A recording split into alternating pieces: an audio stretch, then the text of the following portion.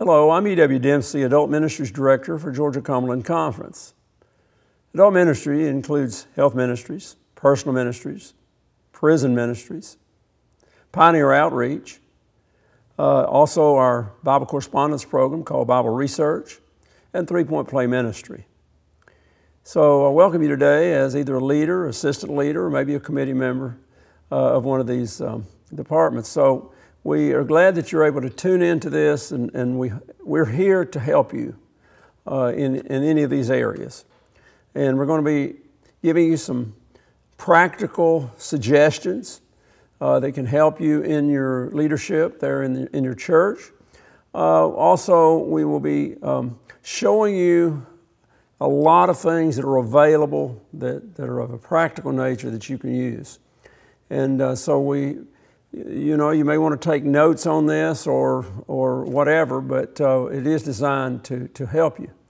And uh, if you're watching it individually, you might want to later uh, maybe bring your committee uh, people together and, and watch it with you. But either way, that we're here to help you.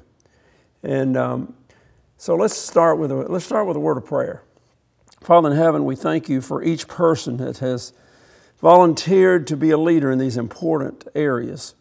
So, Lord, I ask that you would bless them as we, as we look at this, bless us as we present it, that it will be in a way that it can be effective both to their church and to the community. We thank you in Jesus' name. Amen. We're going to be covering uh, health ministries and personal ministries. And um, Used to, I did this separately, and, and, but then I realized that we, we've got to work together with these two departments. It's, it's, it's essential. And uh, so, thus, you kind of see as we go along, some of the things we present will be um, practical for either department, some will be separated. Uh, in uh, health ministries, we are. Um, I've often called it the right arm of the message. And we recognize that everywhere Jesus went, uh, he met people's felt needs. And uh, so, certainly, if it's the right arm, it is the key to reaching people and building relationships. Now, ultimately, obviously, we are here to tell people about Jesus and to present the gospel in personal ministries, that is directly related to the spiritual aspect. But I hope you can see here today that, that how we can meet people through health programs and, uh, and then reach them with the, with the gospel. So I think you can see then why we need to work together. I want to start with a statement from Acts of the Apostles, the very first sentences uh, that, you, that, that reminds us of why we're doing what we're doing. And it says the church is God's appointed agency for the salvation of men. It was organized for service, and its mission is to carry the gospel to the world. So you can see then that, um, that this is the ultimate goal. Now, on the on the uh, uh, general conference level in health, uh, we have Dr. Landless. Um, we have uh, actually Katja Reinert that I worked with for many years. Uh, and, and they serve the world field. Uh, as far as health is concerned. Major projects, maybe like one dealing with AIDS or starvation in some of the different countries. On the North American Division level, we have a new leader, Angie David, Dr. Angie David. And uh, I serve on their health committee, have for a number of years. Uh, we have another one or two people from our conference. Dr. Meyer is one that serves on there also. On the union level, we have uh, Lionel LaMountain. And uh, then on the conference level, of course, that is me. So, uh, uh, and then we hope on the conference, I mean, on the church level, uh, that there is a local health leader. Now, in personal ministries, uh, we have on the uh, division level, uh, in the North American Division, Dr. Johnson, Alfred J. Alfred Johnson, and uh, he also serves as the prison ministries leader, and I serve on both of those committees. And we also have people from this conference and this union uh, that serve on those committees as well. Um, the union level personal ministries and prison ministries leader is David Long. And, uh, and again, we uh, serve here in the conference on those, on those departments. I suggest uh, all, right off that we um, possibly, as I said, take notes, or if not, just review through this enough that you can to because there's a lot of information. You're not going to remember everything. Um, I do want to suggest uh, right off that we have some uh, magazines that are called Quick Start Guides. They're designed for your department. If you're a health leader, personal ministries leader, or prison ministries leader. Um, and this is something that you can get from the ABC. Uh, one of the first things I'm going to suggest is that you have a committee. Uh, that way, you're not in this by yourself. Now, some of you are going to be very experienced. Uh, you have been doing this for a long time and, and uh, you've experienced both the failures and success. Uh, but maybe you're a new person. And so this information is really to help those maybe that are just starting. The other situation is that we go, many of our leaders are started from, are, are uh, elected from January to December, others are from July uh, through June. So, um, you know, this is something you just have to, to, that's why we're doing this video, is to help you regardless of when you're starting. The committee, though, that you choose will probably vary in size depending on the size of your church. Um, it may be just two or three people, it may be four or five people. There are certain people that need to be on either committee. Uh, for instance, on the health committee, um, obviously the personal ministries leader needs to be on that committee. Uh, sometimes you include the pastor as a non voting member on these committees, um, maybe the head elder, maybe a deacon, deaconess, and then some laymen at large. If you've got a community services program, that leader should also be on there. Uh, it needs to be balanced, whichever committee it is. Uh, and if it's a personal ministries committee, the health leader needs to be on that committee. Uh, and the, again, pastor, head elder, deacon, deaconess, and I'll kind of show you why a little bit later why some of these people need to be on there. Um, again, community services leader. But again, some people at large. It needs to be balanced between males and females. Uh, and, and as far as uh, laymen are concerned, uh, there's uh, there, people that really want and have an interest in these areas. Okay? Um, now, there's certain things I want to mention that we can help you and your committee from the conference office.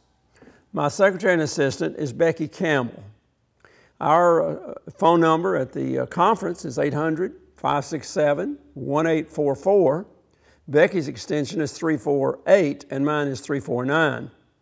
My cell phone is 423 667 5420. And you can feel free to call at any point. Uh, I will tell you, I normally turn it off when I go to sleep at night, but uh, you can leave messages or whatever. Uh, but we're here to help you. One of the things that we do, um, obviously, are training events. Uh, we have just finished uh, three, we have one more coming up, and uh, these are designed regionally. And, but yet, you may not be able to come to these, and that's why we're doing this video. Uh, it is, again, the training event is for health and personal ministries leaders. Prison ministries is done separately. Uh, either we at the conference or the union does training events. Uh, and then every other year, we do a um, appreciation dinner for people involved in prison ministries. I mention that today because in most of our churches, we may not have a prison ministries director, but it would come under personal ministries. Another way that, uh, that is certainly helpful, and this is key, and I hope that you write this down or take note of it. On the division level, the Festival of Laity is now the key means by which all communication is going to occur in personal ministries, prison ministries, and even in health ministries. So it's festivalofthelaity.com. Make sure you remember that. And uh, again, uh, it's just, just starting, but uh, there are already a lot of things on there that will help you, and of course, that will grow.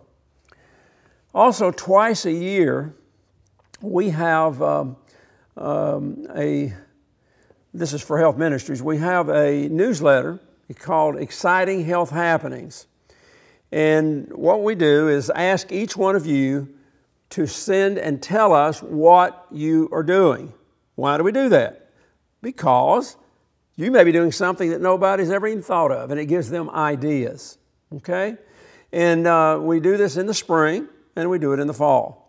So we ask you to send your information in, and then it is duplicated and sent back uh, uh, to, to, to each one of you in the form, as I said, of a newsletter.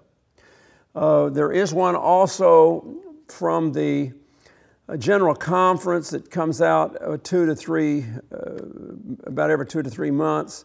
I'm not sure that they're going to continue that, so my, our, my main focus with you is the one we, that we put out there, okay?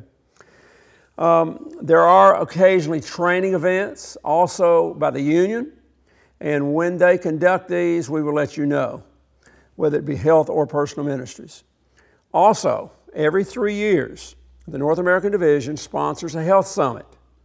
Uh, for years and years, it was every year in Florida. Now they rotate it on coast and different places in the United States. Again, we will let you know ahead of time when these are, are scheduled. There are certain things that we stress in this conference. And since we have well over 200 church groups, counting churches, um, companies and mission groups, uh, it's impossible for me to get into every church. Uh, we generally let you know when we're doing what is called a rally. The health rally is separate from a personal ministries rally. These are designed to be held in a local church. Normally, I have the sermon, which is of a spiritual nature, and then it goes for three hours in the afternoon. And uh, we, as I said, generally invite churches that are in the, in the area because knowing we're not going to be able to come back into that same area probably for a while. Why do we do this? Well, the challenge in health ministries is to challenge every single person in our churches, uh, not just as outreach, but to make a difference in our own lives. And so there are certain things we stress. And I'm asking you as health leaders, uh, however you want to do it, uh, to, to, to plan these same things. And let me say this we do a lot of programs. We do uh, take blood pressures, we do uh, screenings, and all kind of things. Make sure you note this that the rule in this conference and the North American Division is that there is supposed to be a health professional involved in the interpretation and usually even in doing the testing. Let's use high blood pressure, I mean blood pressure test for example. Uh, many people can do blood pressures. And so a layperson can do that, but the interpretation is important. Let's say that you uh, did a blood pressure test on somebody and, you and they said their score was uh, 100 over 200 or 200 over 100, and you say, oh, that's a great score. Well, obviously, that's not a good score. And, um, and so you're giving false information. Uh, we were in South Georgia doing a health screening, and we had an individual come through that, um, whose cholesterol level was over 400. And uh, in another case in South Georgia, I had a person whose glucose level was extremely high. Now, what if I'm doing a test and, and you say that your glucose score is 400? And I said, that's a great score. Or if I tell you your cholesterol is really, really high, that's a great score. And then something happens to you, and the family says, well, this church or these people said this was a great score. You see, there can be liability. Number one, we don't want something to happen to people. And so that's why we require and risk management requires health professionals on the interpretation of these things, so please note that. Now, what do we stress? Number one, we can't stress everything. Dr. Handysides, who just retired from the General Conference as health leader for many years, one time gave me a book that was about this thick. It had 90 one hour lectures in there on health. And I used to carry that book around and show people, our leaders, You can't go 90 different directions. You would be better off choosing one direction and doing it well as trying to do 10 things and not doing it well. So, I want to tell you one thing that, that we really stress, and then I'm going to kind of guide you through uh, some steps in, in how to make these things happen. One of the things that uh, we stress is dealing with cardiovascular disease. Why? Because tests show that we can do something about that. We can do better than we're doing. Uh, so we approach it from a nutritional standpoint and from an exercise standpoint. Okay? From a nutritional standpoint, uh, I'm going to just show you a couple of modules that we have that can, can help you in this situation. Uh, this one shows, I want to turn it up and you can probably see it moving. Carrying the red, uh, the red blood cells are carrying oxygen going through the artery because it's nice and clean. This one, as you can see, is not moving too well. And um, why? Well, there's a buildup here, and you can see this buildup. You know, there's a lot of controversy over that today, and a lot of people will tell you that cholesterol is not a big factor. Well, I can tell you the Framingham Heart Study, the largest heart study done in America, did not find one single heart attack if the cholesterol was under 150. So, our goal in our churches is to, is to make sure people understand this, this, this situation. So, again, you may bring in speakers from different, different places, and, and that's, of course, very good. In the, the other category has to do with exercise test after test after test, and I do not have time to go through that now. I would if this was a health rally, that shows that the number one factor in heart disease, believe it or not, is fitness, physical fitness. The longitudinal study, for example, with 32,000 plus men and 6,000 plus women, showed the number one factor was low fitness. And even if a person smoked and exercised, they were better off than if we are not smoking, but we don't exercise. So we stress aerobic exercise. Um, a number of years ago, in, in, the North American division level, I said we should be leading the world in fitness, and from that came the In Step for Life program. Does it work as far as stressing this? Let me tell you exactly what's been happening. In this conference, for a number of years, we suggested that the church have an in step coordinator. We don't require that anymore, but to give you an idea of how, how, how, uh, how it really uh, helps to stress this in your churches, uh, last year we had over 100,000 people.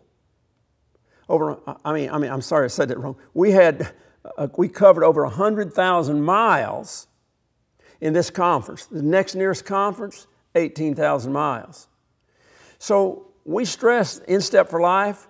Uh, we can help you with charts uh, and all kind of things. Um, there's, we have a, actually a sheet that we can send you that shows the variation, I mean, different types of activities, how they relate. For instance, how much gardening uh, uh, versus walking or running or riding bicycles or whatever. So, anyway, you can get that information from us. Uh, I'll use myself as an example in this, folks.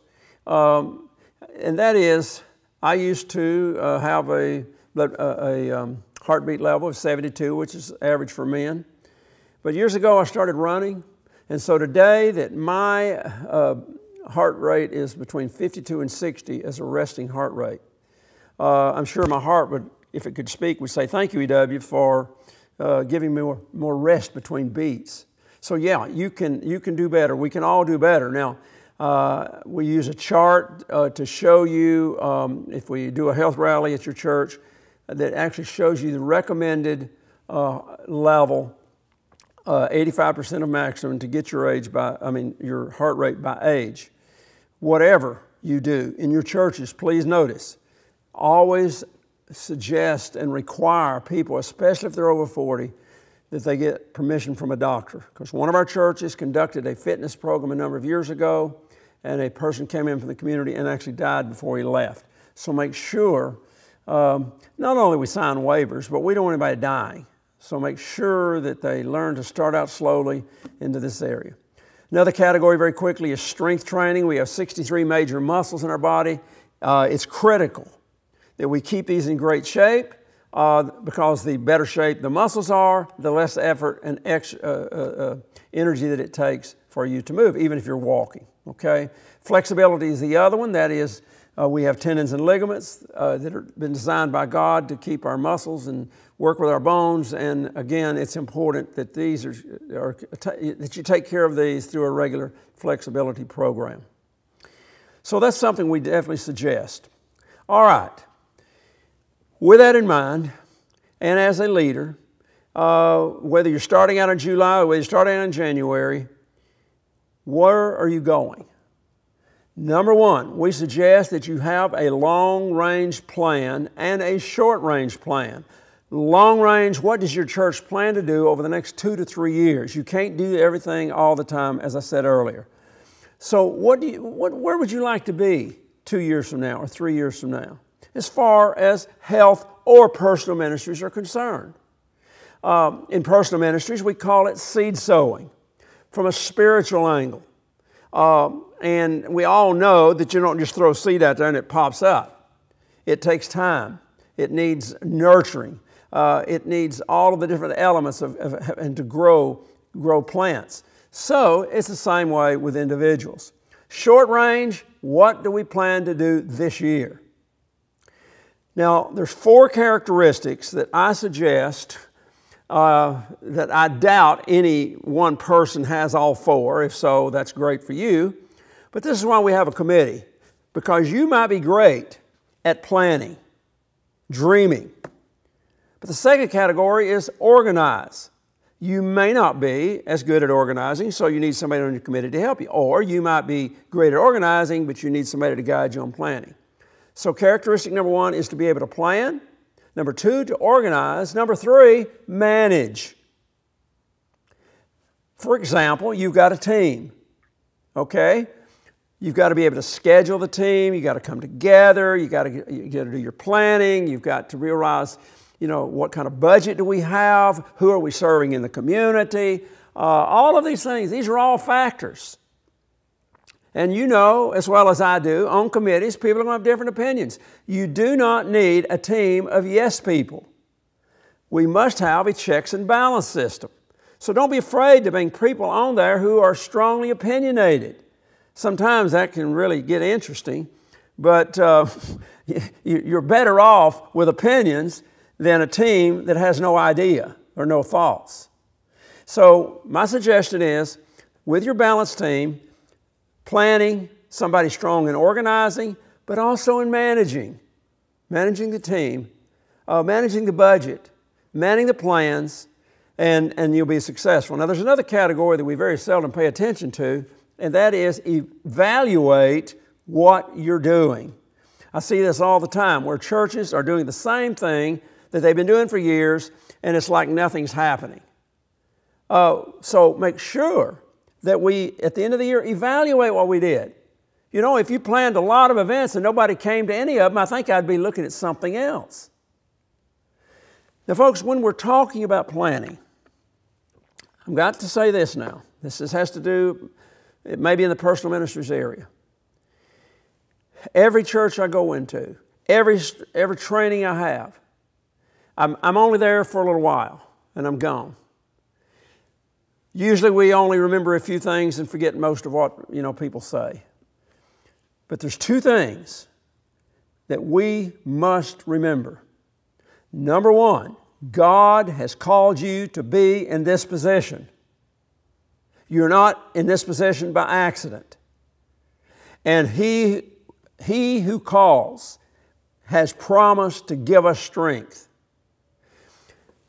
We must stress in our individual lives uh, and, and to our committee personal Bible study and prayer. Folks, we've got to do this also in our churches. I don't care how it's done with the pastor, head elders, I mean, elders, whatever. The study by Joseph Kidder, done among Seventh day Adventists that attend church on a regular basis and reported in a book called The Big Four, and you can get it at the ABC showed that our church members who attend on a regular basis, 37% are studying their Bible once a day, 43% once a week. How strong are you going to be if you eat once a week? and 20% or one out of five not studying at all. Folks, we're busy. Everybody's busy. But everybody also has 24 hours a day. Prayer. The study showed 73% of the people going to our churches regularly said they pray at least once a day. That's, you know, that's 73%. 21% said they pray once a week. 6% not at all. So when I talk to you about focus, this spiritual focus has got to attend, I mean, it got to happen first. If you want some of the handouts that I give in, in, in training when I do it uh, regionally, uh, you can write, we'll send you a folder uh, with, with uh, the written material. Uh, I can tell you that one of the things we have was put together by uh, Jerry Four a few years ago, Dr. Four, who was our church ministry director at the time, and it's called Eight Steps to a Growing Church. And the number one thing that was suggested in there is revival in your church. Revival.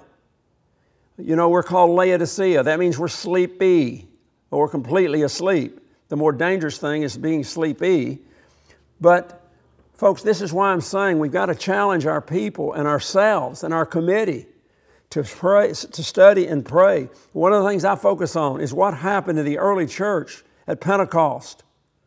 We see in, in, in chapter 11 the book of Hebrews, ordinary people doing extraordinary things. What did I say? Ordinary people, people like you and me, but when God says, wait for the outpouring of the Holy Spirit, and He promised to do that to the disciples, and He will do it with us, then, then there will be no failure. But we can't run ahead of Him. So, what are we saying? Plan, yeah, but start with the spiritual preparation and then go through these steps of planning to what you want to do. Okay? We, we recognize that. Um, uh, that, that there's things you need and things that we want to be able to help you with. And uh, we have a lot of things at this conference office uh, that, that, are, that, are, that you can use. However, uh, some of these things, and I'm going to show you in just a moment, uh, you do have to come and pick them up. We cannot mail these things. For example, the module I just showed you with cholesterol, uh, these kind of things we just cannot put through the mail.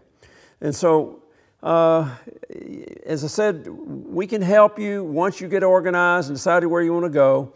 Um, before we show you these things, let me again, though, remind you if you plan to use any of the things that we have, and I'm talking about some of these uh, objects, you must plan ahead. Why do I say that? Well, let's just use health fairs for example. Many of our churches and many of you plan a health fair in the fall of the year, which is a great idea. Um, at that health fair, one thing you can do is a health age appraisal. A health age appraisal is a computerized program and it's kind of a fun thing. Uh, now remember, when people come into the fair, if it's a county fair, they're coming for the county fair. They didn't know they was going to bump into somebody talking about health. But I've done this many times.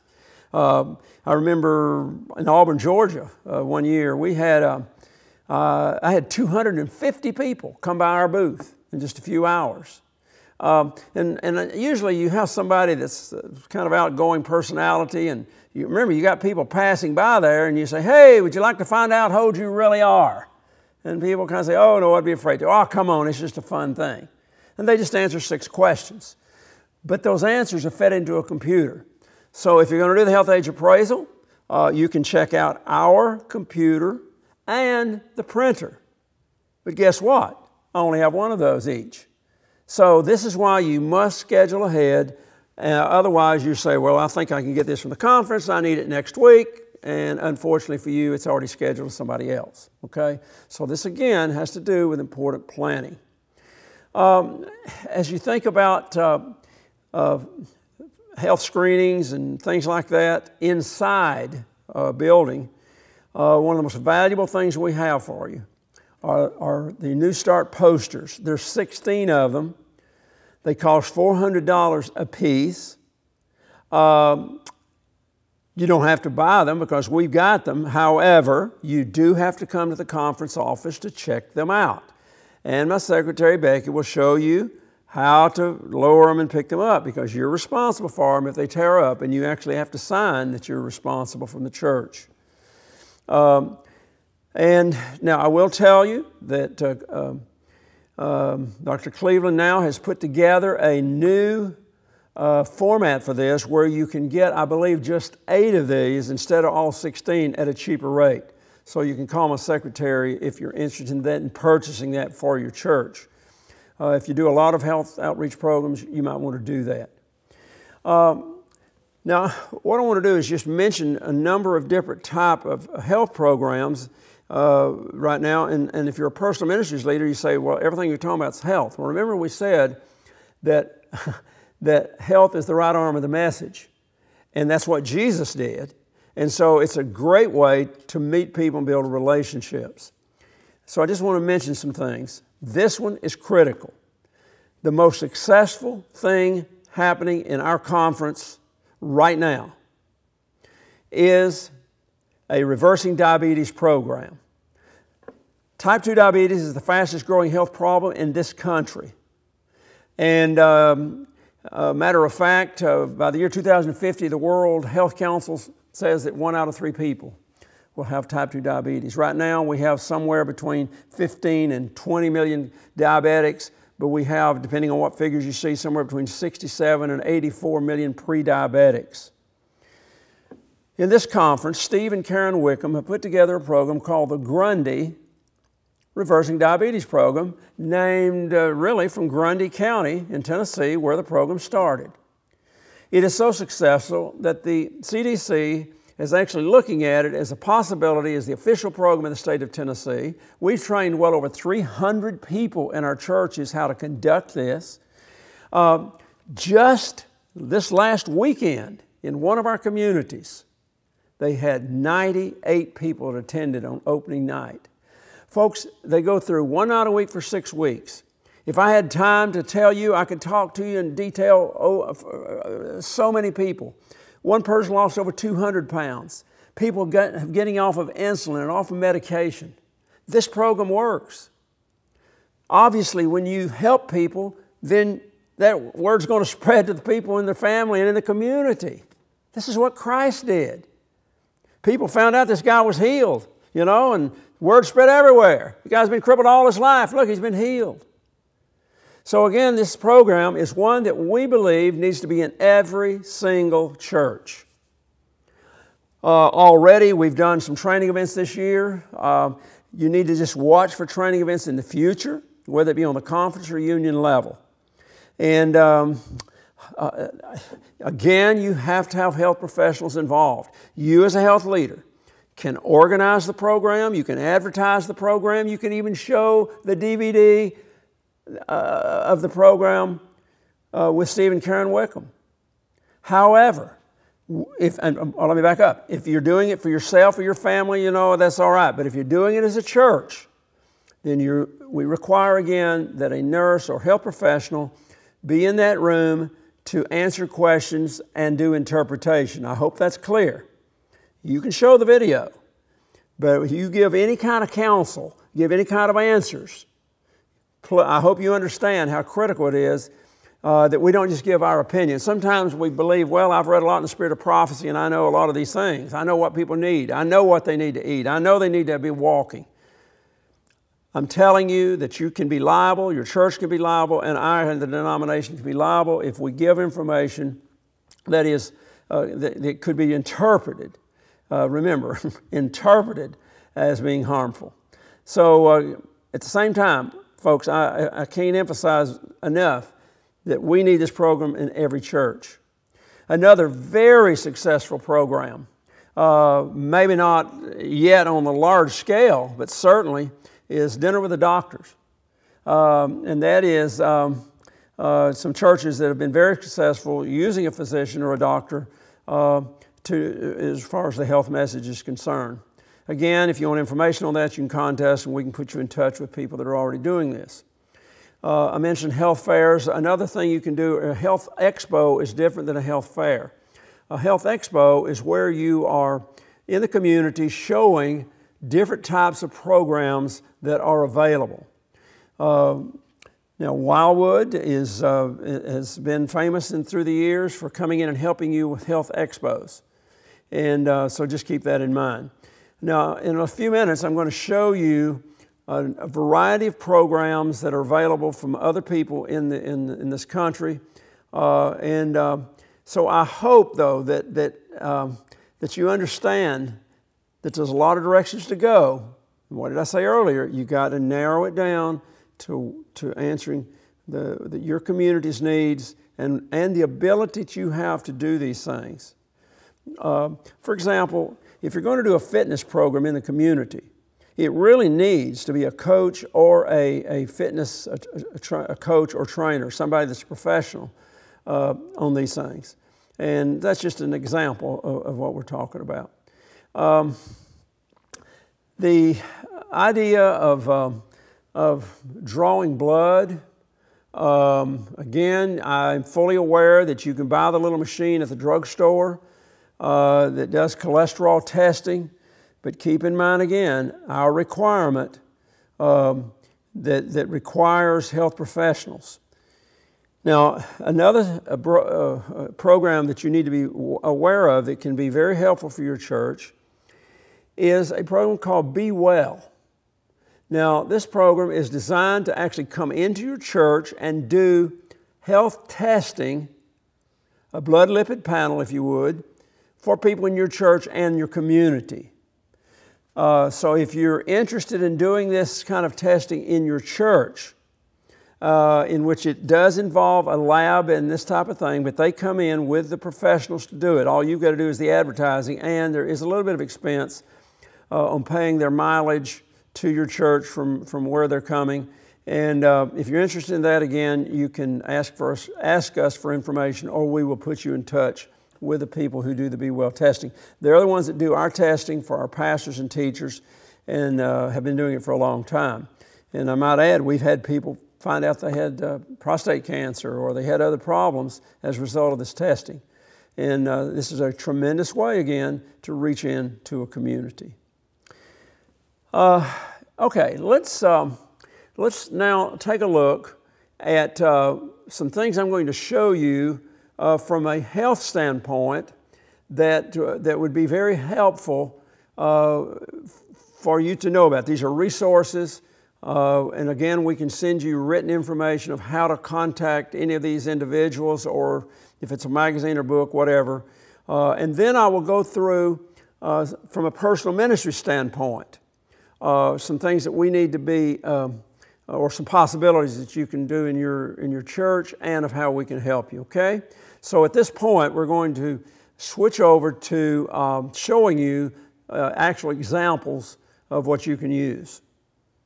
We're going to start with modules that are available for you to check out and use at health fairs, cooking classes, um, educational classes, maybe dealing with uh, cancer, uh, cooking classes, um, one class uh, or one church had a, a program dealing with um, health tasting, uh, tasting. And uh, so any of those programs, these things can be valuable.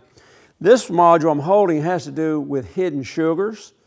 The American Diabetes Association recommends no more than six teaspoons or 25 grams of sugar a day for ages 6 to 18. Now, six teaspoons is not very much, folks. I've got a granddaughter that has learned to read the labels, and she was eating something, and I said, How many teaspoons are in that? And she said, Six. I said, Well, then that's all the sugar you have today. Uh, it's not an accident that we have so much diabetic problems in this country. This module shows the amount of sugar in uh, different types of foods, and it really gets their attention. I mean, when you see, uh, for instance, sweetened applesauce, with maybe 10 grams of sugar. This person says, What? Or if you see some, some cake here where there's 10 teaspoons or 10, yeah, 10 teaspoons of sugar and it's already over the limit, uh, then you may see, or it'll get their attention, okay? Next category, uh, another module, is one dealing with hidden fats. Now, I showed you a moment ago the, the cholesterol uh, machine uh, or, or, module, but this one uh, has to do with hidden fats. Triglycerides are fats that are in our blood. It's recommended, uh, measured in milligrams, to be 150 or less. Uh, we actually have, and I'll show you one at the same time I'm holding this. This little looks simple, but it shows 150 in one side and 450 in the other. It doesn't look like much, but it will get their attention to how much fat can be in different types of situations. And again, it is recommended, depending on the, your body somatotype, that is the size of your body, that you would have uh, no more than 15 grams of saturated fat a day and between uh, usually 44 and about 64 grams of unsaturated fat a day. The average American is getting three times the amount of fat that they should be getting. Uh, on cholesterol, Americans are getting way above what they should in protein, which is usually in the form of meat. And so uh, we're trying to get people's attention. If you're getting three times the amount of fat a day, why?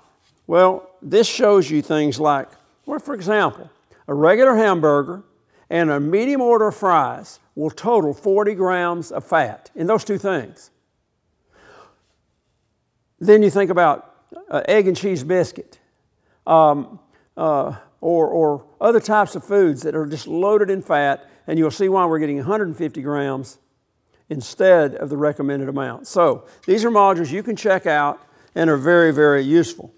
Um, speaking of fat, this gets people's attention because it's five pounds of fat. Okay? I've already shown you this one. Uh, and let me say something about these modules for a moment. The Seventh day Adventist program that used to uh, these things no longer does that. Uh, so this book may show you, um, it's a science book, and there's another one called Education Edco, uh, or Health, Health Edco, I'm sorry. Uh, and these you can get a lot of modules from. And uh, so if you're interested in these books to buy something for yourself, then you can contact us.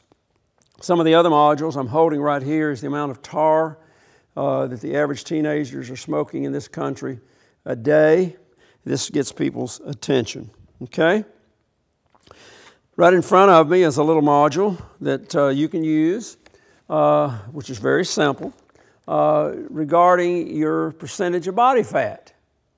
And um, we have uh, graphs that you can use for people if you're doing this again at a county fair or health fair or whatever, uh, showing the people what the percentage of body fat should be by different age groups and um, this is just a simple little thing that you hold up. It's operated off of batteries.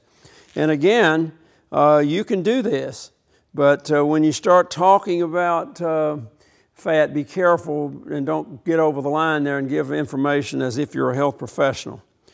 Um, we also have, uh, I don't have any to show you here, but uh, a simple little gadget in which people just take a quick breath and breathe into it with a, just a a burst of energy or burst of air, and it will give the score for the vital capacity of their lungs. And uh, I can tell you that uh, if you exercise a lot, your scores are going to be really high. For example, the average uh, women's scores uh, in the pulmonary rate is, is around 275. Men's is a little bit more, like 325. A person uh, such as myself that exercises, that score may be 5, 6, 7, 800. Uh, again, because it, your lungs are going to be much better for breathing when you do a cardiovascular aerobic exercise, okay? Okay, um, these are just some samples. Uh, I did mention the, uh, the poster, the large posters. We do not have those obviously here uh, that, you, that you can use. Uh, I'm going to move over here and show you another example. This is a large um, backdrop that fits nicely on tables. And um, this was on exercise, designed for exercise. Okay? I'm going to hold up some posters uh, that, are very that are very valuable for you to use uh, in your different uh, programs.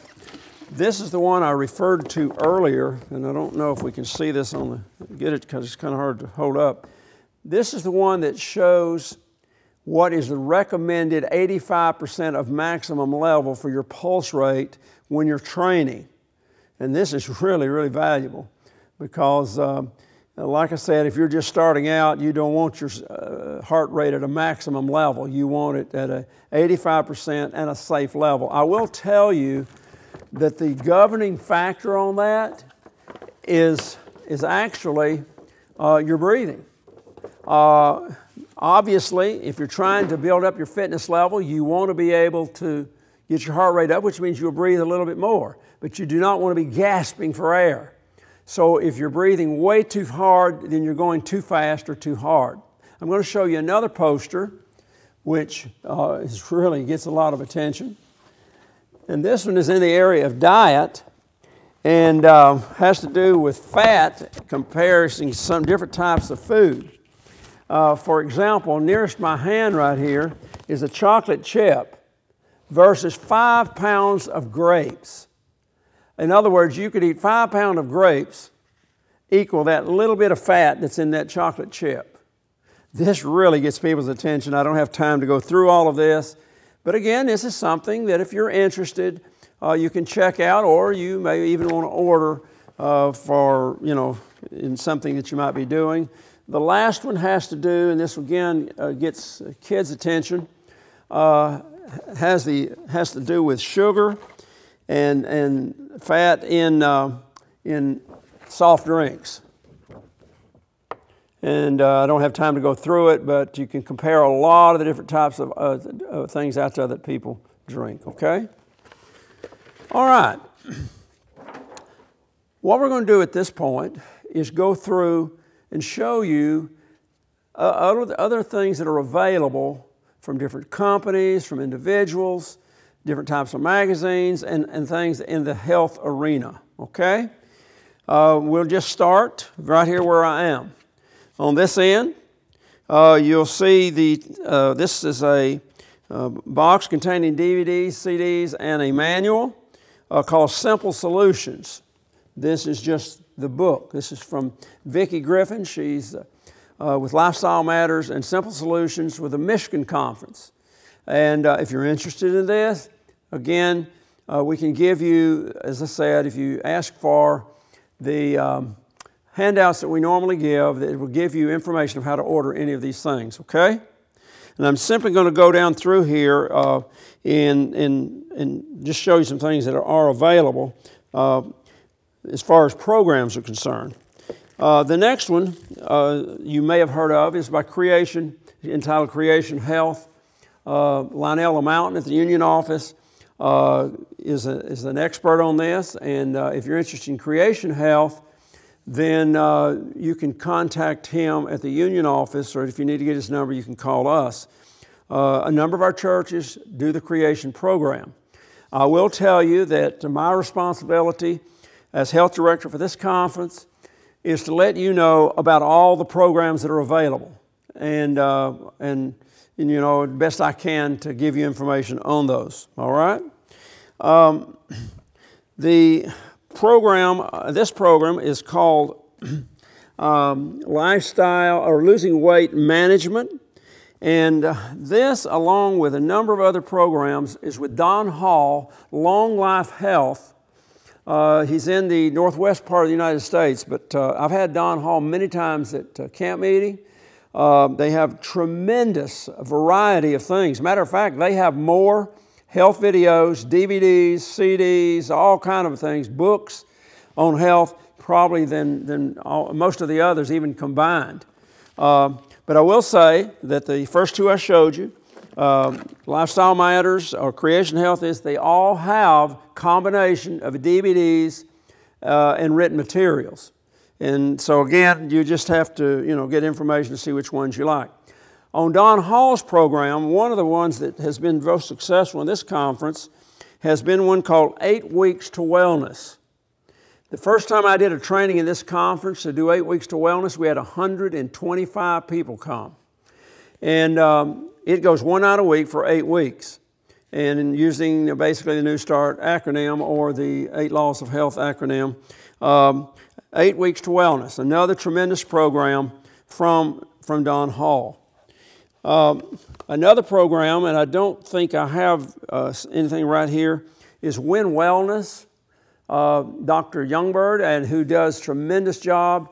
Uh, and again, if you're interested in that program, you can contact us. I do know that some churches in our conference have used uh, his program uh, a, a, lot. Um, also, Angie, Dr. Angie David, the North American Division uh, health leader, will also come into usually our conference. If she comes, it's probably going to be a conference sponsored, but in some cases of a larger church, you might be able to schedule to schedule her. Okay. Um, uh, Wildwood, again, is, a, is an organization that is, is there that can help you, and they're in our conference. Uh, and they will come to your church. They'll do a weekend program. They'll help you with health fairs and those kinds of things.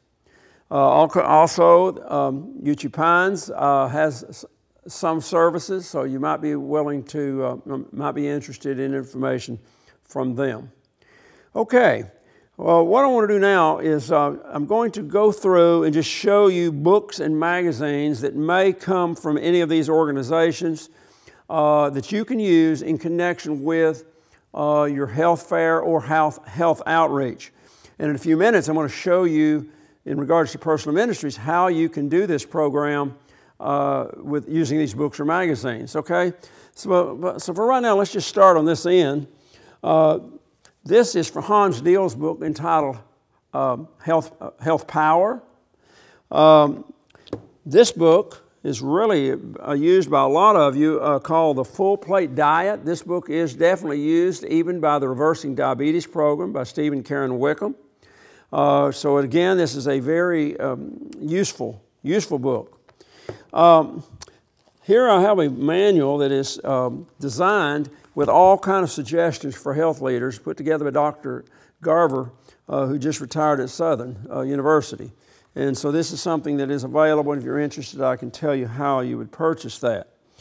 Um, across here, we're going to just look. I've already showed you the magazines uh, uh that you might be able to or want to order some of these things from. Um, I do need to talk about this one just a moment a number of years ago in our conference, well, I mean, North American Division, we had a program called Regeneration. And uh, the, the director of that program was a great guy. He had been a, early in his life, he had been a, an addict in a lot of different ways. And so he put together this program as he became a Seventh day Adventist minister. We had him many times in our conference. It was sponsored of the North American Division, but they didn't really give him much help. So, I don't know, maybe seven or eight years ago on the NAD committee, I said, you know, we either need to upgrade regeneration or do away with it. Well, eventually, that led to what is called ARMin, Adventist Recovery Ministry. Adventist Recovery Ministry. This deals with addictions. We're all aware of AA. Well, this has to do with how to put together support groups in your church. Now, I'm holding a manual which has different kinds of books that are available from an educational standpoint. If you're interested, and I know some churches are in our conference, I would recommend that you contact me and let you, me put you in contact with the North American Division so they can send someone um, to train you individually in your church or possibly, now I want you to make sure you go hear what I'm going to say here. Uh, later this year, uh, the training for our Adventist Recovery Ministry is coming from the North American Division. And uh, I'm going to have to say the date on this because I don't, I'm not giving the exact date, but I'm giving you the year because it's 2017 will be the only year we will get them for probably the next three years. The state of Tennessee has contacted one of our pastors about uh, support groups in churches. Uh, he is in a program in which he's responsible for 10 counties in Tennessee, some of which are in our conference, some that are not. But the state of Tennessee says the programs that people are doing out there aren't working, and they want to see if churches have programs. Well, we do have a program. But again, this is a very good program. I know you have some people that would love to be involved as a support group for people in the community on getting off of addictions of all different types. Okay? Uh, I will say that Vicki Griffin has a program uh, that is also uh, that's possible in this, but I, I do recommend the Adventist Recovery Ministry because that's why it's been put together. Okay? A program that also I really would like to see in every church, and I probably, I don't know if they can focus on this with a camera or not, but it says Let's Move Day. Uh, this is designed uh, to, to bring a focus on fitness for kids. Uh, I'm a former physical education teacher.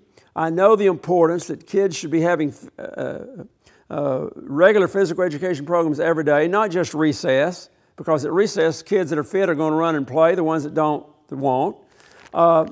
This is something that is a great way to meet people in the community. It's a fun day. It's usually in the fall of the year, usually scheduled some two or three hours on a Sunday afternoon. And uh, it's just a series of fun things that kids can do. If I'm there with your church and Let's Move Day, I normally do 10 events, some of which are off the National Physical Fitness Test, sit ups, push ups. Sometimes and we give the kids 30 seconds to see how many they can do. And sometimes the parents want to see if they can beat their kids. And if they do five of the 10, then they're, uh, they get a ticket that goes toward drawings for different kinds of things. If you do a Let's Move Day, schedule it way in advance. Uh, schedule it, um, it can be at your church, it could be at a local uh, uh, um, play near, a place near a, um, a greenway or, a, or an athletic field. Um, Either way, uh, keep this in mind. I would offer different kinds of, of, drawing, drawings for prizes. Walmart gives money, has money set aside each month for people to come and, and, and ask, but you have to ask. And they start over at the first of each month. Uh, in one case, we got four bicycles and a basketball goal. So keep that in mind, and I would contact other people in the community because it's not just you doing it. I would invite people in the community to do things like a karate program, a roller skating, any type of activity that can get kids moving. Uh, in mine, I do other things like uh, a jump rope, a hula hoop, uh, throwing objects, running, and all kind of things. So let's move day is something I suggest in every church. Now, folks, remember this: in personal ministers leaders, if you do these kinds of things and meet kids, you're going to meet parents. Okay? All right. Vicki Griffin produces what's called Balance Magazine. The one I'm holding is one dealing with the entertainment trap, also an article on diabetes.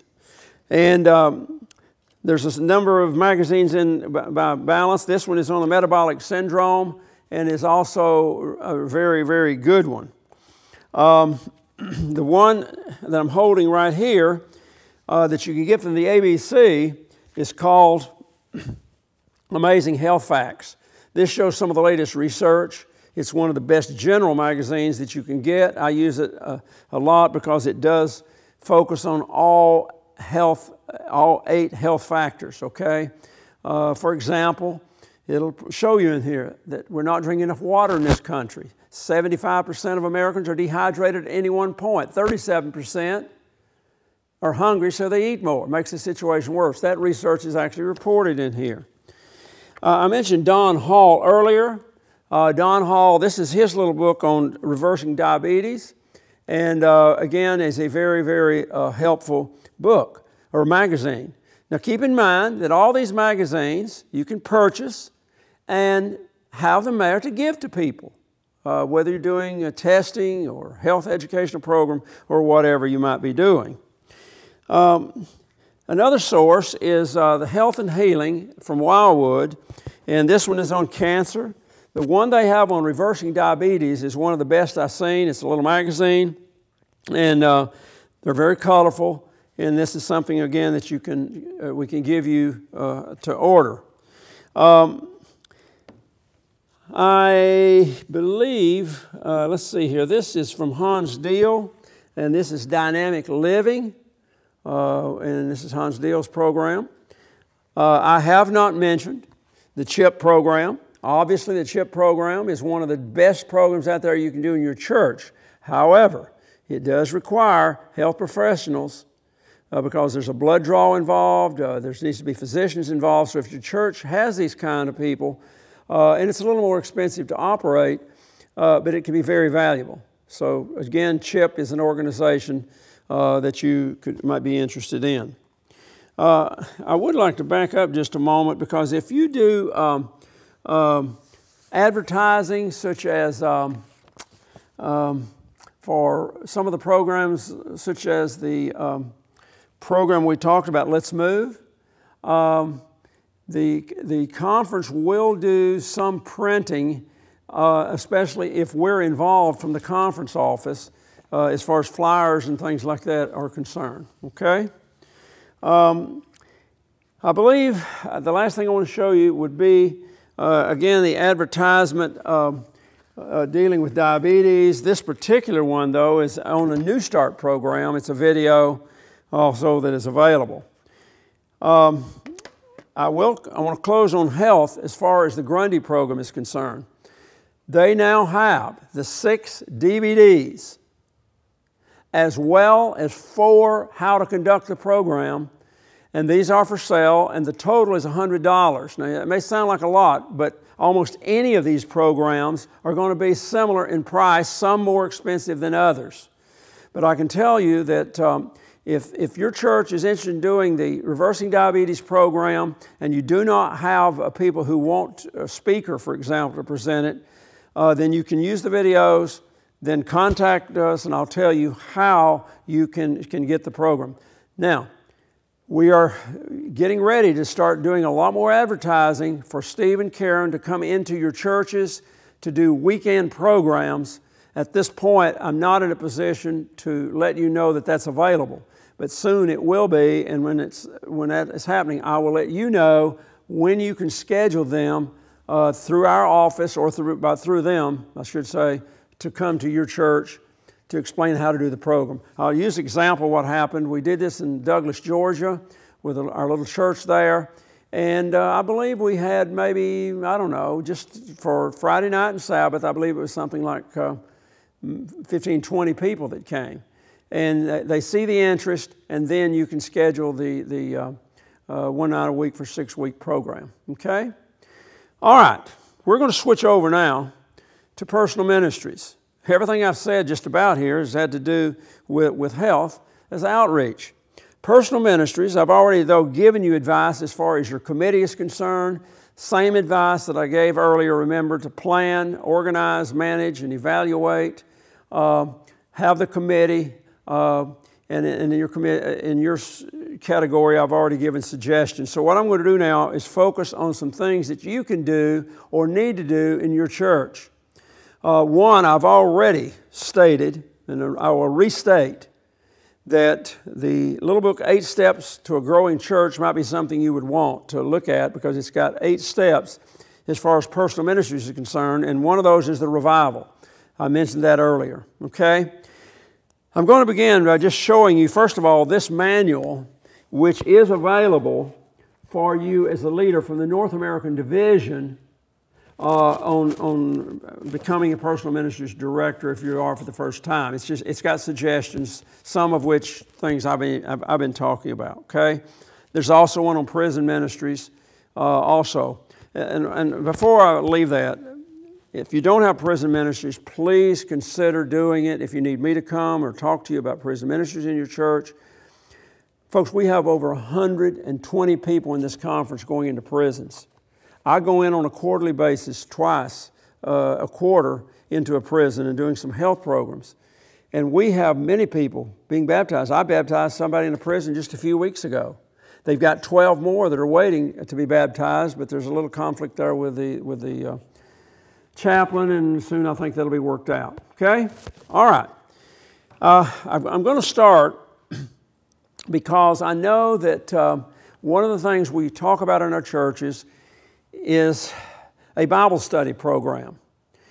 Now, we've heard of some of those that are really successful. Discover is the one we hear the most about because it's been advertised on a large division level and worldwide level. Another very successful Bible study program is the new one by It Is Written. Pastors, I think, know about that, so you can ask your pastors. Um, it's a very, very good program. The one I want to talk to you about, though, is the conference program called Bible Research. We started this program 24 years ago. I'm holding a simple little copy here, which may not look much. It's kind of plain looking.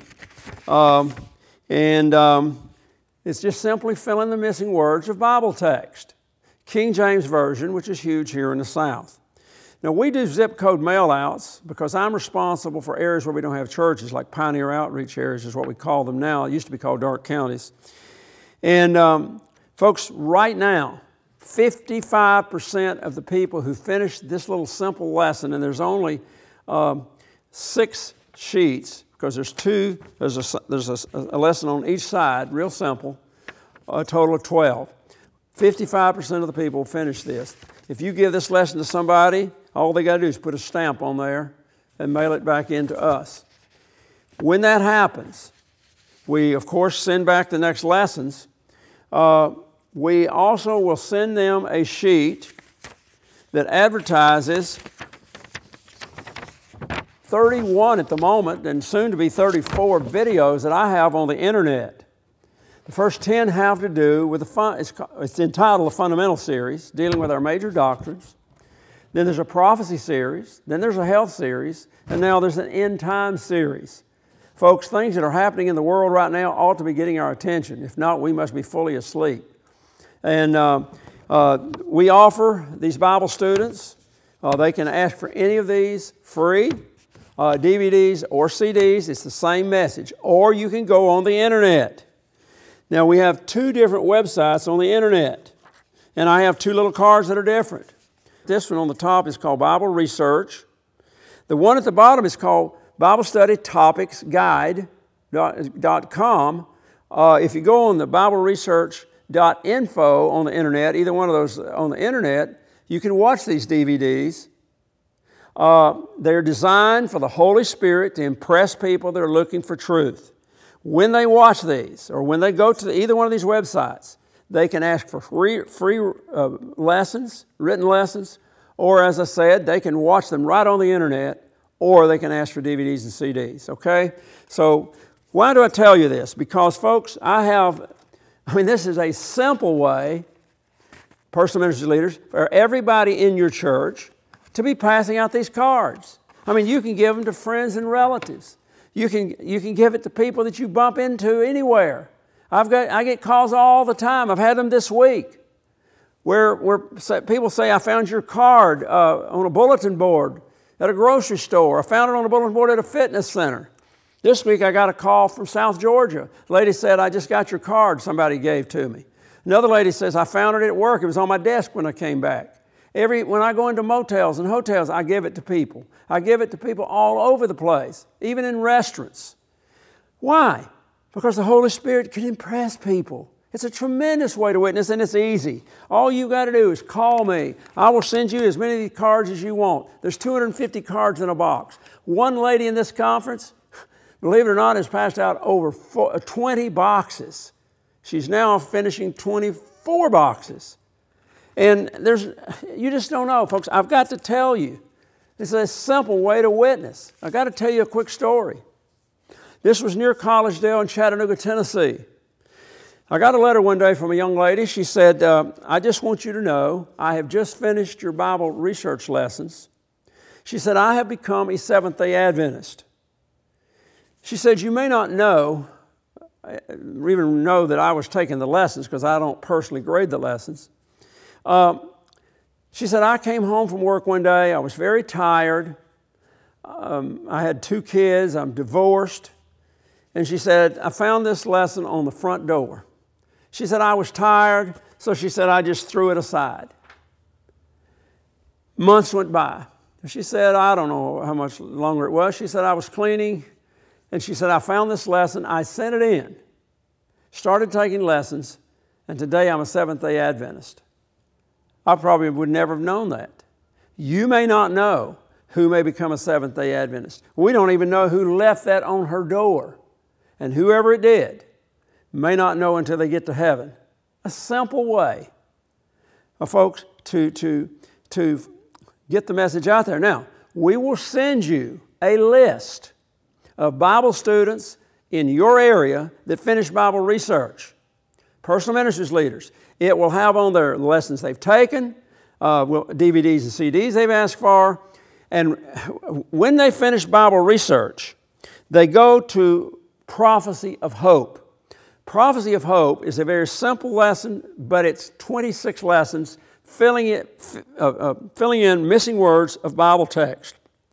It covers all of the major doctrines. I believe this was put together uh, by Gary Gibbs. And folks, the people who take these lessons, and plus the DVDs and CDs, are exposed to the doctrines. I could literally tell you experiences all day long. I mean, I got one uh, just a couple of weeks ago in which a lady said, Okay, if Saturday's the Sabbath, why am I going to church on Sunday? Well, that's a good question. And I was able to write back and uh, give her some answers and, of course, send her some literature. Uh, I mean, just on and on and on, these types of, of things. Um, now, in the past, we've had five sets. Uh, from Prophecy of Hope, we've gone to Amazing Facts, then Discover, and then Focus on Prophecy. We have cut back right now to ending at the end of Prophecy of Hope unless they ask, Well, have you got more lessons? And, and the reason for this is that some people do just like to do lessons. But uh, we're wanting to, to find out who are really interested.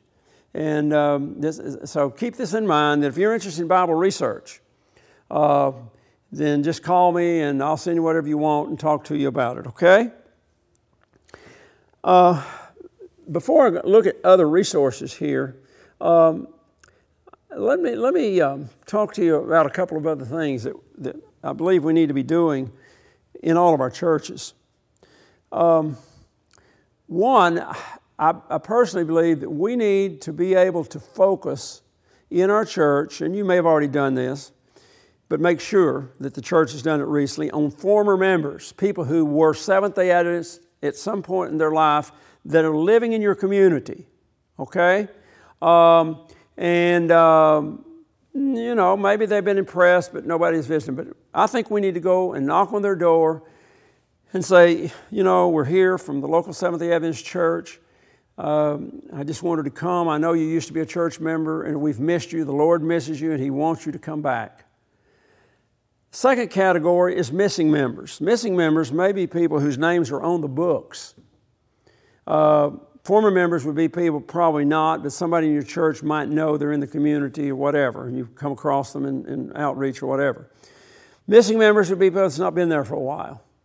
And again, I would go and I just, you know, and by the way, when you do this, this section actually comes under visitation committee. I think you need a visitation committee. Uh, make sure you have a balance of male and female. Don't send two males to visit a female if it's a Bible study interest. Uh, and, and by the way, let me back up a minute on a Bible study interest. Don't just call, go knock on the door, you know, and, and when you go, you can, uh, you know, take something with you. Uh, matter of fact, let me just show you. I said I wasn't going to do this, but let me just show you this one. Uh, this is excerpts from Desire of Ages called The Passion of Love. Folks, we send this when we send the first lesson of Bible research, okay?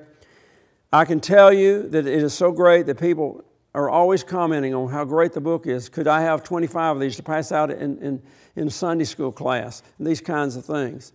But if you're visiting a former member, or a missing member. Take something like this, okay? Uh, and let the Holy Spirit guide them and direct them. I know I just recently have visited uh, a, a, person that I know was a, as a young person was in our church. And uh, so the, uh, since we knew her, we went to visit her and uh, invited her back to church and, um, and, and, continued to call and, and pray with her. Uh, so anyway, this, the, the, the idea of missing former members, there's another category. As personal ministries leader, I think we ought to be responsible for, and this is with your deacons and deaconesses that are on your committee. Make sure and you probably are doing this, but let's not miss anybody that's in the elderly category that maybe needs help going to the grocery store, being checked upon regularly. I don't mean once a month, I mean every week or so, just whatever it needs to be. Check on these people, okay? There's another category that uh, kind of bothers me. Um, it's called dealing with kids or single parents. In the world, we have big brothers and big sisters. In the Seventh day Adventist Church, we do not have an organization. But, folks, there are males out there who have daughters that need a female influence. Uh, there are females with boys that need a male influence. Uh, as personal ministers director, uh, I would ask you to make sure we don't miss anything like this uh, because um, uh, th- this would be critical. Uh, keeping in mind that anytime we're dealing with kids like this, we're talking about a background check and, and so forth. But I can tell you of a situation where a girl became a Seventh day Adventist through our Bible research program. She had two kids, a girl and a boy. Uh, growing up, she had been abused by her father, physically abused, broken bones. Principal picked up on it, but the father was close friends with a with the sheriff, and so nothing happened. Um, later, she was raped, and that's how she had, the, I believe, the boy. Um, she later dated uh, a guy she thought she was going to marry, but it turned out he was already married. So she did not trust anybody. So I called the church and I said, you know, she really needs both female and male in her to help from the church. And as a result of that, they did start going. And I mean, because she wouldn't go anywhere without the kids. She wouldn't go shopping without them. She wouldn't go anywhere. And so the, the, the church started uh, giving her, you want to say, a free day by having a program where they brought the kids in to play with other kids. So this is something we need to be really aware of, okay? Um, something else that you need to make note of, and that is that we sponsor once a year a Share Him program, which is usually the first week in November every year. Uh, but you need to, to be aware of this. Share Him trains laymen to be speakers in holding evangelism meetings. And it was designed for an easy way for you to do it, and that is that you would start out in other countries where you'd have a translator. I've done this in other countries, and so I, I understand the program. Um, uh, so if you have any laymen in your church that are interested, and I'm sure you will have, we've had as many as 80, 90 people trained on these sometimes, and it's almost always uh, 40 or 50 or more uh, each year that are trained to, to how to become a lay evangelist. And so sure, I would ask you to be aware of that program. Okay, um, I want to show you now some of the resources. We don't have the same kind of resources in personal ministries that we do in health because they simply aren't out there. I will tell you this, and I've already mentioned it earlier. Make sure that you go to the festivaloflaity.com, see what all's out there. They're putting my videos on there, but uh, recently in a meeting, uh, someone from Oklahoma had mentioned that they have a new Bible study program, and I don't think it's on there yet, but it's designed not only to come back to you as far as um, um, if, you, if you do their program, anybody in your area, but it will actually give you information of how to contact the people, and it gives you regular information rather than just when they finish. It kind of keeps you up to date as they go. I'm not sure even of the name of that program, but uh, if you're interested, uh, you can get that off the Festival of the Laity. Another very successful Bible study program is called, and I know a number of you have done this, uh, Footsteps to Jesus. Um, I want to show you, though, a magazine right now that I really believe that you, it's just out recently called The Day of the Lord. This is, is can be purchased at the ABC. Um, and it's very colorful, all kind of information dealing with the second coming of Jesus. Signs Company, the Signs of the Times, uh, uh, has a number of magazines you can get from the ABC. I want to focus on this one just for a moment. This is one that I believe needs to be in every church uh, if there's kids, uh, and, and it's dealing with spiritualism. Now, I have two DVDs dealing, or CDs, dealing with this subject. But this magazine is very, very good. I think most of us are aware of the Harry Potter program that's just sweeping the globe. And, folks, uh, I don't know, I, I, years ago I did research on subliminal messages. If you go on the internet, some of the things you will see regarding ads aren't even subliminal, they're just out and out bad. But um, think of the video games and the TV programs that kids are watching that probably have all kind of subliminal messages. What I did, I went uh, to Deuteronomy chapter 18 in the Bible and looked at the um, things that God was forbidding His people to be involved with. Deuteronomy chapter 18. One of those is magic, and one of those is witchcraft. Today, witchcraft in the form of Wicca is a, recognized as a religion by the Supreme Court and the um, um, what is it, Social, Social Security Department? No, that's not right. I know it's recognized by the Supreme Court. And folks, in every, every one of our churches, we've got kids.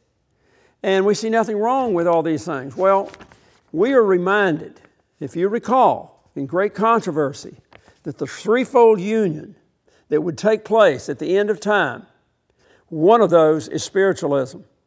And Satan, using spiritualistic forces, is at work. And I suggest this magazine that you could order it for every church. This one is called uh, Spiritualism and the Occult. So, again, uh, this is something you can order from the ABC.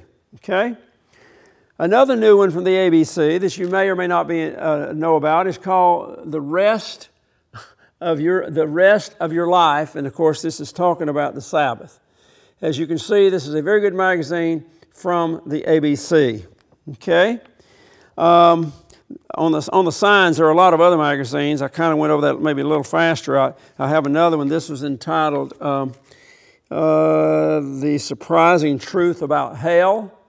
Uh, this is another one you get from the ABC. They have them on the Second Coming, the State of the Dead, and a lot of other, a lot of other subjects. Okay?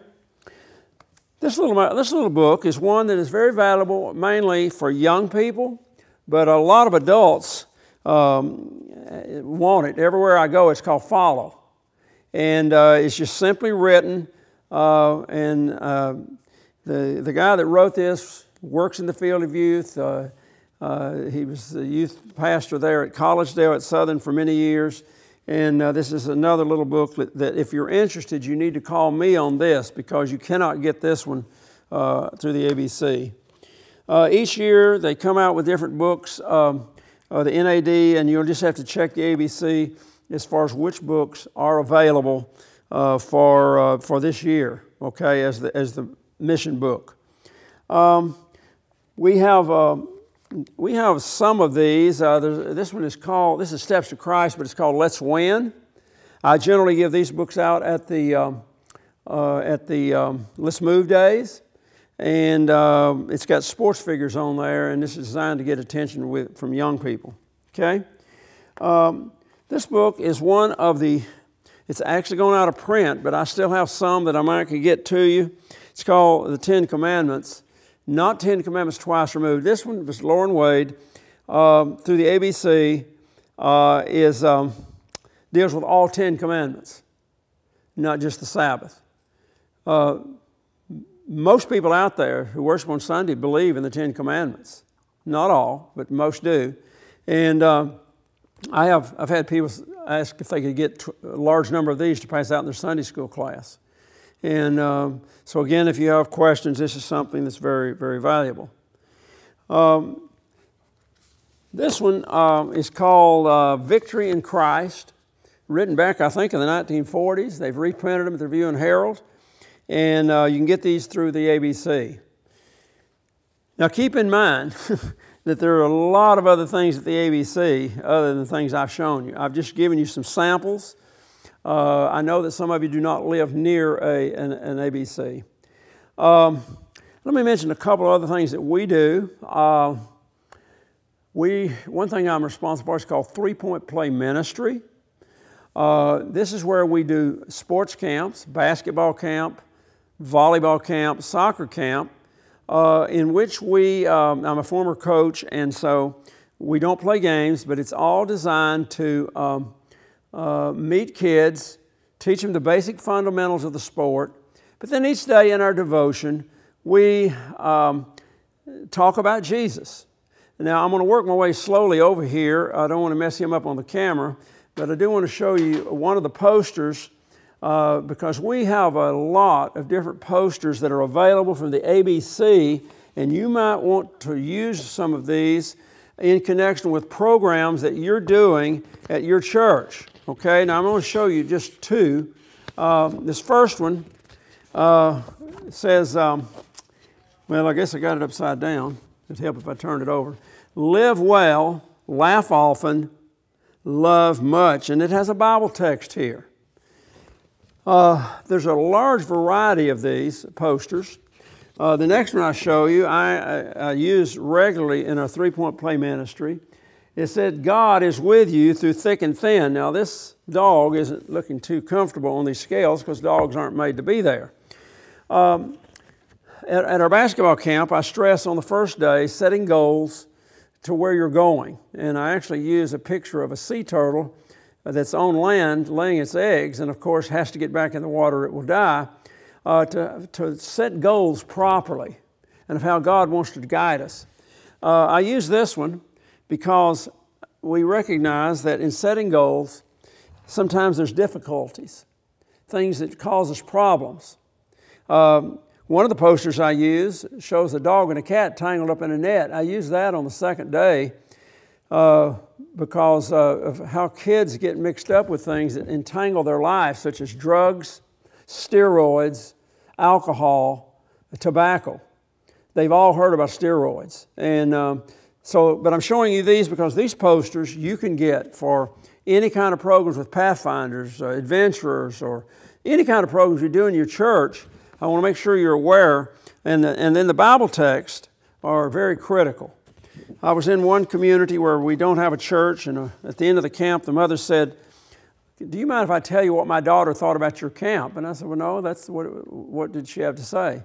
She said the thing she liked most, most was that you talked about Jesus. And, folks, that's what it's all about. Everything that we're talking about here today is all about Jesus. If we don't love Jesus, where are we? What does it profit a man if he gains the whole world and loses his own soul? The purpose for your church is to be a witness, a lighthouse in the community. And whatever we talk about needs to be pointing people to Jesus, using the health programs, using other types of outreach, you know, I have another video uh, that you can watch on our website in, in, uh, called Visitation Workshop Do's and Don'ts of How to Visit. Um, we could talk about a lot of other things, but I've tried today to summarize what you need to basically be organized for success. You know, some people say if you don't organize for success, you're, you're, you are being organized to fail. And, uh, and so we're, we're here to present the gospel to people. And, and I, I just stress the importance of prayer and fasting and study. And if there's anything we can do to help you, um, I'll come to your church when I can. Uh, this year, our schedules fell up very well, the schedule's full. I'll tell you this that if you want me to come to your church, uh, in, in a following year, you need to contact me early. Some people are already scheduling me now for next year. And uh, I would love to come to your church if I've never been there. Uh, feel free to call us. Uh, I will talk to you over the phone and we will pray with you and for you. And so I'm going to close by having prayer here. And, um, uh, and, and as I said, if you're interested in any written material from us, call my secretary. I gave you the number earlier and we will mail you uh, resource information of how to order these things. Okay? Remember, God has called you to be successful. He doesn't call people to fail. He promised, He's got the same promise for you that He gave the disciples. Wait. Don't run ahead. Wait for the outpouring of the Holy Spirit. And with the Holy Spirit, there will be no failure. Let's pray. Father in heaven, we thank you for each person here in each church. uh, whether they're a director or if they're an assistant or they're a committee member or whatever. Uh, they may be just watching this for ideas. Lord, I would ask that you would impress them through the Holy Spirit to what they can do, what you want them to do with their gifts and talents in their church. Guide them and direct them. Lord, we're living in serious times. We want you to come soon. And we are claiming the promise of the Holy Spirit. So bless each church, each person, each pastor, and we give you all the honor and glory. And we pray in your name, the name of Jesus. Amen.